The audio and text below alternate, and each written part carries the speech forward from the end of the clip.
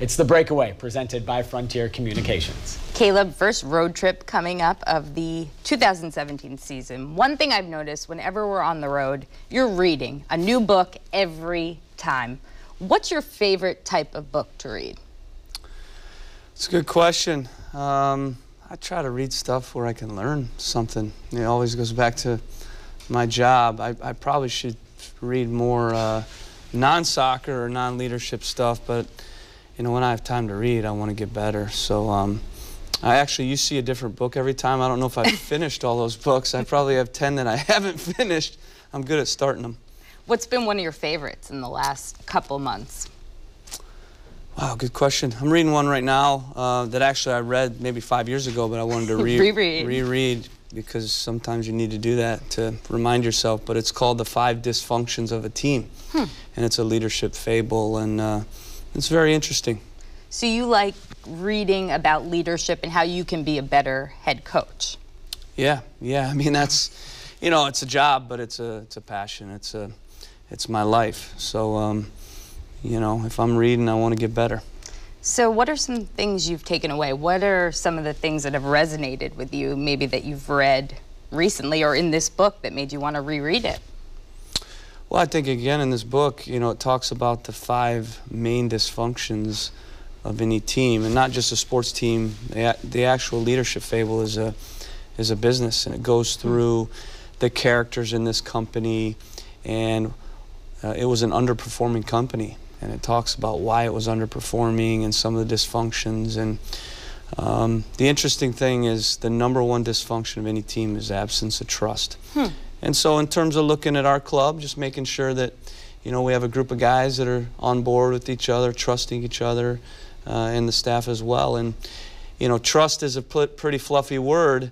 Um, it takes time to, to build that, and, and it takes attention to build that. So uh, we've tried to do that this off season.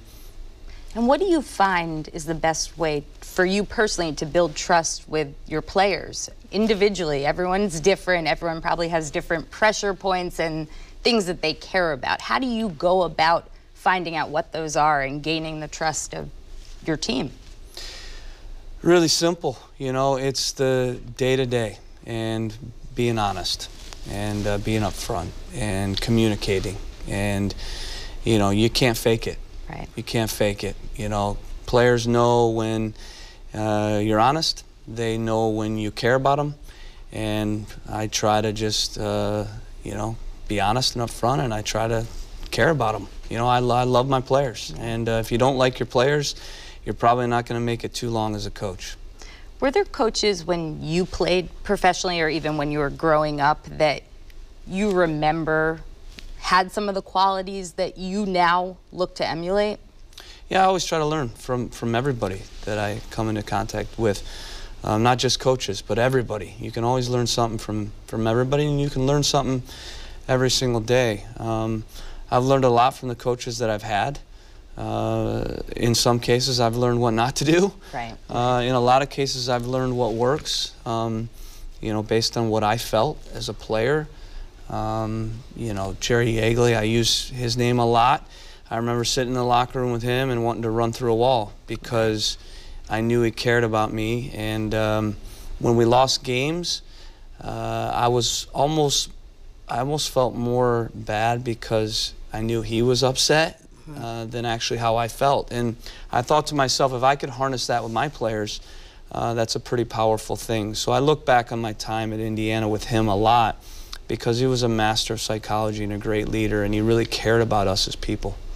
And when, are there any moments in the last couple years here in Portland when you've really felt, hey, I have what I had with Jerry at Indiana with some of the players here?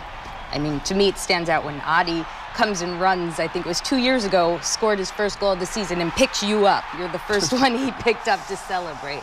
Are there other moments, it could be that one, but that that it clicked for you? I think it's um, it's something you can't take for granted, is what I'll say.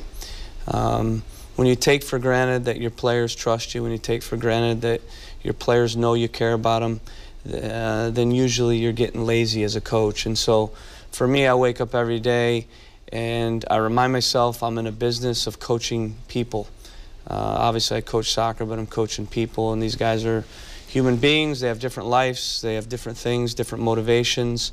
Um, but ultimately, if I can uh, captivate them as people and help them and get them to trust and buy in, uh, then I'll get them to perform. Uh, but it can't be, like I said, a shallow, empty, Right. empty thing. And sometimes it's hard in this business because ultimately results are always on the line. But you can never forget that. Um, that, that my greatest power and strength is as a leader, um, you know, to these guys. As a leader, in addition to having that trust, I would think that keeping guys motivated, excited, and keeping things fresh would be really important. I'm curious for um, a guy like Darlington Nagbe, who this is now the fifth year coaching him here. You coached him at Akron.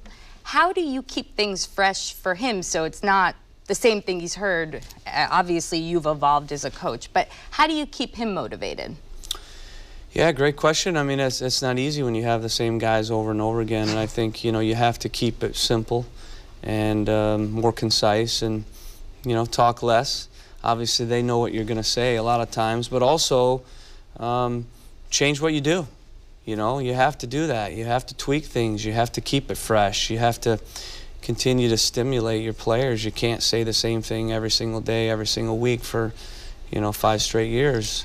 Um, and if you're doing that, you're probably losing because the game's evolved. And you're not. Yeah, and what worked last year isn't always going to work the next year, and what worked last game isn't always going to work. You know, you can't assume that. Um, players want familiar, familiarity, they want continuity and consistency, uh, but they certainly want new things as well. And you have to you have to bring new things to them, or, or they stop listening. Well, Caleb, thank you so much for the insight into your brain and how you're approaching your team. Really appreciate it, as always, for coming on and for your time.